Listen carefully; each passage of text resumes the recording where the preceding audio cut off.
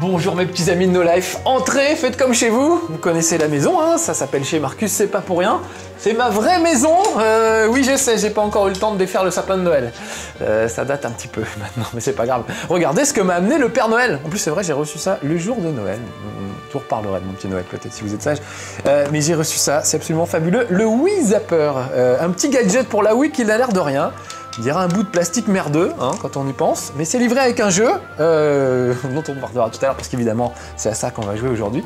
Et surtout c'est super malin et super bien fait. Ça fait, ça permet de faire une arbalète avec la Wiimote et le Nunchuk tout simplement. Regardez, il suffit de l'encastrer là-dedans. Démonstration de montage d'armes. Vous mettez ceci dans la culosse. Des mots comme ça chez les militaires, la culosse. Et vous mettez ceci. Alors par exemple le Nunchuk, on n'avait jamais fait gaffe, mais il y a deux petits trous là sur le Nunchuk. On se disait c'est quoi? C'est pour aérer?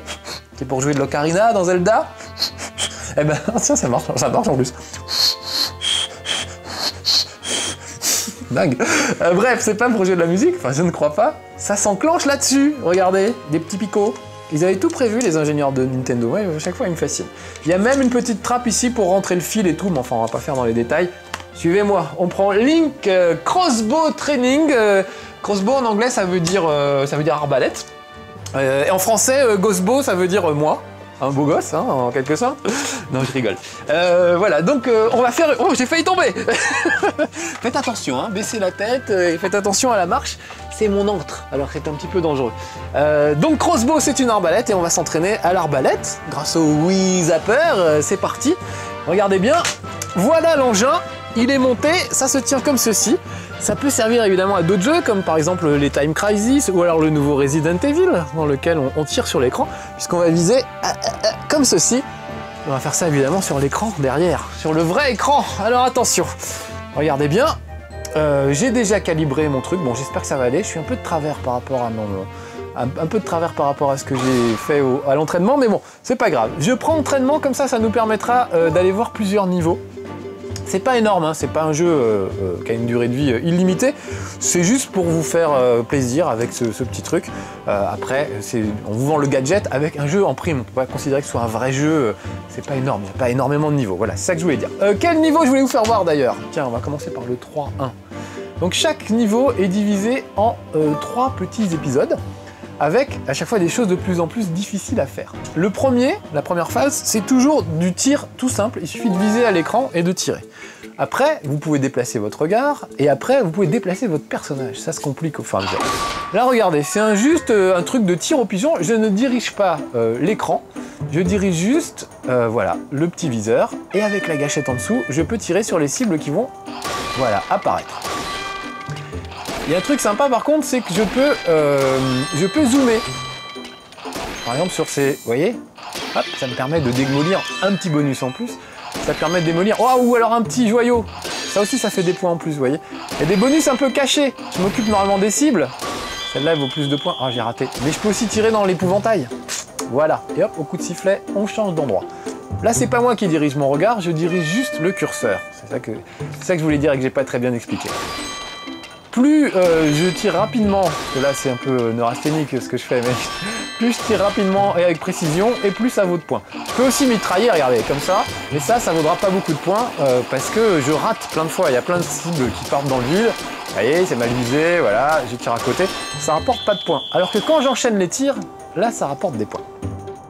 Donc quand vous jouez en mode solo, il faut ouvrir tous ces niveaux les uns après les autres. Et pour les ouvrir, en général, il y a un score qu'il faut battre pour réussir à, à avancer. Voilà. Alors les cibles bleues, évidemment, faut pas les toucher. Celles qui ont un, carré, un- une croix sur le dessus, il ne faut pas les toucher. Il y a juste les cibles rouges et les cibles jaunes qu'il faut abattre. J'ai vraiment du mal, je ne suis pas positionné pile en face. C'est assez troublant. C'est déjà pas très doué à l'entraînement, mais alors là, ça va être encore pire. Regardez, il me faut une heure pour, euh, euh, pour localiser ma cible.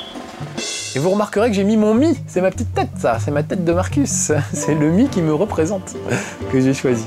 Euh, on va compliquer un petit peu, Euh, j'ai fait le 3, on va faire le 7-1 qui est pas mal, voilà. Donc là on reste toujours dans la première phase qui consiste à la, caméra se déplace tout- toute seule, c'est pas vous qui choisissez, vous tentez de tirer. Donc vous avez vu qu'au début c'était assez simple, là ça va commencer à devenir un petit peu plus compliqué. À tout moment je peux tirer, euh, vous voyez par exemple sur les crânes ou sur des choses, on pas demander mais ça peut faire des, des petits points en plus. Là regardez, il y a trois cibles qui se pointent et qui partent très vite sur les côtés et qui se rabattent. Donc là faut aller vite Et là, en plus, les cibles bleues viennent s'interposer devant. Donc autant au début c'était facile, autant là, ça commence, vous voyez, je me suis trompé, autant ça commence à me devenir un petit peu plus difficile. Je peux toujours zoomer, bien sûr, si je veux, si je veux rater avec plus de précision. Et je peux toujours tirer à tout moment, là par exemple, hop, l'épouvantail, euh, le, petit, la petite poterie sur le côté. Et là par exemple, c'est utile de zoomer. Vous voyez la vue normale, hop, la vue zoomée. Oh, j'en ai raté un. Tous ratés même. Donc pas les bleus, hein, juste les rouges. Voilà. Oh, je suis, mais alors, mais vraiment terriblement nul. Et évidemment, aux répétitions, j'étais bien meilleur. Je rate absolument tout. Euh, faut, vous dire que là, pour, positionner les caméras, il a fallu qu'on mette mon, truc un petit peu de travers et voilà, ça, me chiffonne. Au fond de moi, ça me chiffonne. Alors regardez, là, je vise la tête pour euh, essayer de les abattre. Et je peux aussi concentrer mon tir pour abattre plusieurs cibles. Regardez, je concentre et je tire. Et vous avez vu, ça a explosé tout le monde sauf lui. Voilà. Là, je concentre mon tir et je relâche.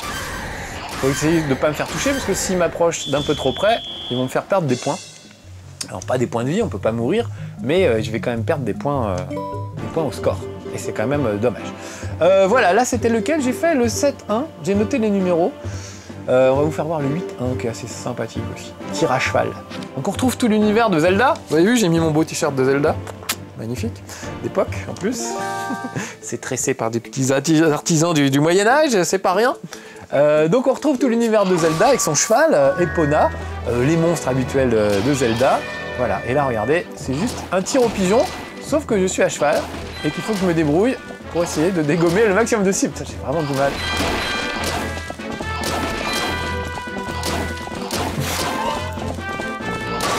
Je pense que je suis le plus mauvais tireur que vous n'ayez jamais vu euh, à la télévision. Quand je pense aux gars qui font ça au cirque avec une arbalète? Et qui tirent genre sur, la, sur une pomme sur la tête de leur femme et tout. je crois que c'est il y a deux ans, il y a eu un cirque où, le gars qui faisait de l'arbalète a raté et il a planté une flèche dans l'œil de sa femme. Et du coup, ils ont un peu arrêté le numéro. C'est assez triste. Donc bah voilà, moi c'est le genre d'artiste que je serais. Donc faites-moi penser à ne jamais devenir artiste de cirque et surtout pas artiste de précision. Mais qu'est-ce qui m'arrive? J'étais vraiment pas si mauvais, je vous, assure. Euh, voilà, j'ai eu une cible sur les 20. C'est pas terrible. Si j'avais été aussi mauvais, j'aurais jamais pu ouvrir tous les, tous les niveaux que j'ai ouverts, évidemment. Voilà, c'est un petit peu mieux. Enfin, vous avez vu la taille de la cible que je viens d'avoir. Alors là encore, je peux zoomer, histoire de, gagner un petit peu en précision. Et de sur la droite. Voilà. Alors c'est assez rigolo comme, euh, comme maniement puisqu'encore une fois, on dirige euh, le curseur avec ça. Et vous allez voir, on va passer au deuxième type d'épreuve. Donc je vous ai choisi euh, par exemple le 8-2, qui est très bien. C'est la suite directe de ce qu'on vient de voir. Voilà, là je vais euh, m'attaquer à une meute de loups blancs. Donc là, la caméra va bouger. Si j'emmène le curseur sur le côté, regardez, je fais le tour, voilà. Je peux tirer tout autour de moi. Et j'ai un radar en bas qui me permet de savoir d'où viennent les adversaires. Alors Link a toujours les pieds euh, collés au sol, hein, je peux absolument pas, je peux pas bouger, euh, je peux pas me déplacer dans le décor, mais par contre je peux, voilà, à 360 degrés, regarder tout autour de moi.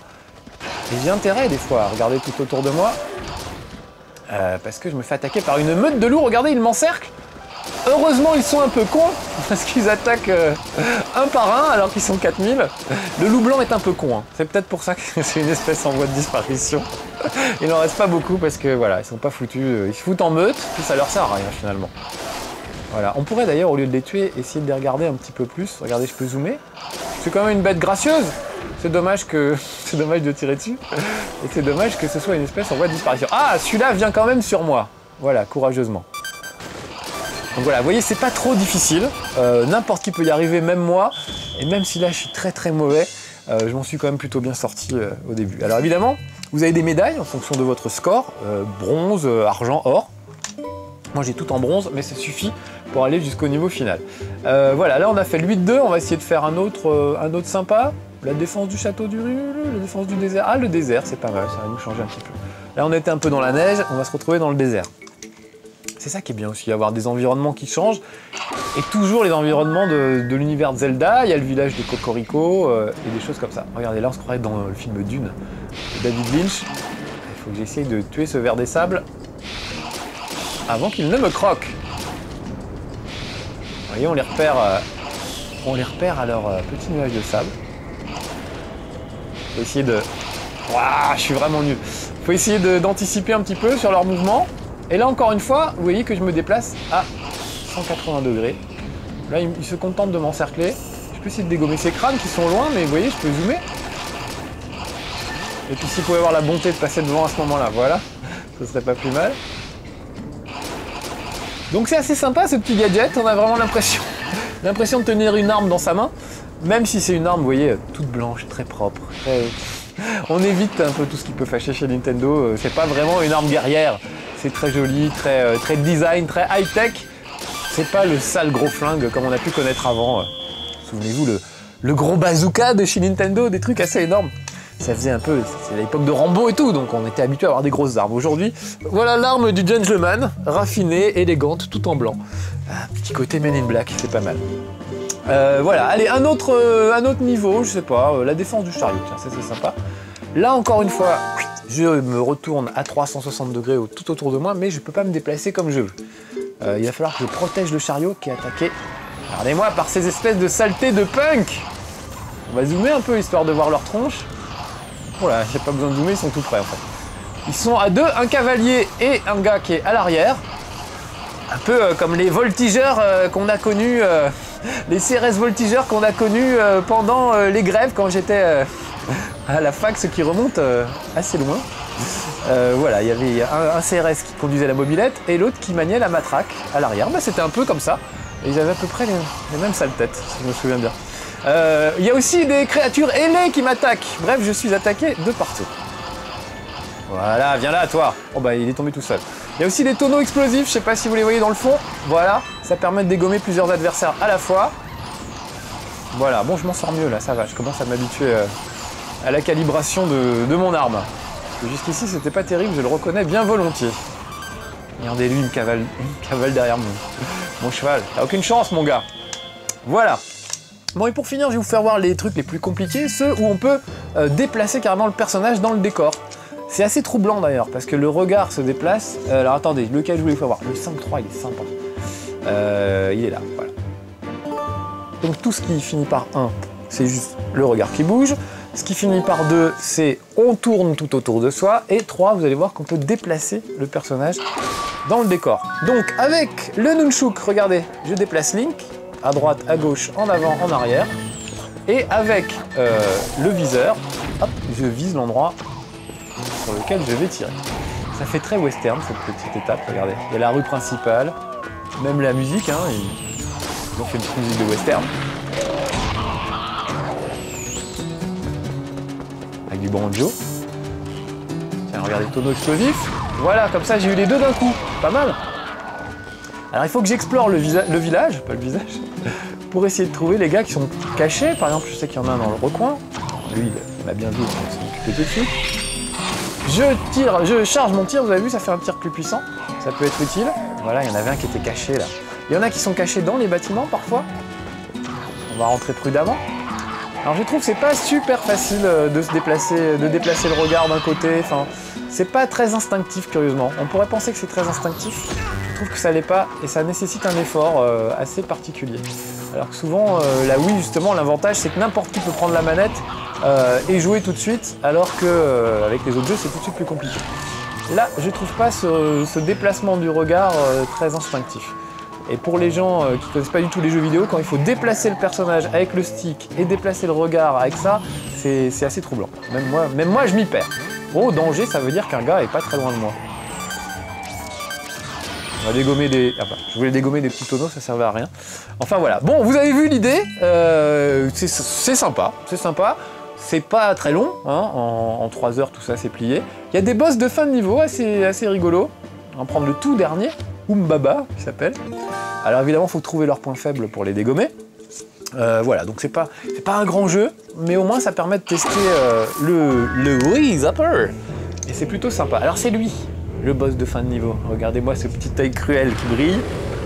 Et c'est vilaine papate. Ça tombe bien, c'est dans les pattes qu'il va falloir tirer pour, euh, pour le dégommer. Je vous promets pas d'y arriver parce que j'avais déjà du mal à y arriver en temps normal. Euh, là, ça risque d'être encore pire. Oh, il crache le feu et il a mauvaise haleine Allez, viens te battre. Regardez, moi je suis en bas, donc je ne peux pas diriger. Je dirige juste mes tirs. Regardez, je vais essayer de viser sous ses pattes. Voilà. Faut viser ses pattes plusieurs fois de suite pour arriver à lui faire tomber un bras. Voilà. C'est assez fragile. Vous allez voir qu'il est têtu et qu'il va quand même continuer. Avec un seul bras. Alors, je vise l'autre patte maintenant. Voilà. J'ai raté. Ah là là, il faut bien enchaîner les tirs, sinon, vous voyez, il repose sa patte. À chaque fois. Oh là là, je suis pas très doué, hein, vraiment. J'arrive à lui dégommer sa patte. Ah bah si, si on dirait qu'il appelle un taxi, ça c'est rigolo. Voilà, encore une fois. Voilà Et là, il va tomber par terre. Donc regardez bien, je charge mon tir et il a un point faible ici. On va lui lâcher une première salve. Et boum, une deuxième, voilà. Il faut recommencer ça deux, trois fois jusqu'à l'avoir. Mais le problème, c'est que le temps est limité. Vous voyez en haut là, 51 secondes, il ne me reste pas beaucoup de temps. En plus, il m'envoie des têtes de cauchemar et des têtes, des crânes volants. Donc il faut que je m'en débarrasse pour pouvoir continuer. Et pour pouvoir m'occuper de ces petites papates, je pense que j'aurai pas le temps de le finir. Est-ce que j'aurai même le temps de le finir avant ce chez Marcus? Je ne sais pas.